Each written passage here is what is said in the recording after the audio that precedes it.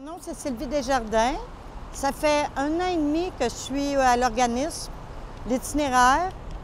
Je vends pas beaucoup de journaux sur la rue, mais je travaille dans un programme de réinsertion sociale dans l'organisme L'itinéraire.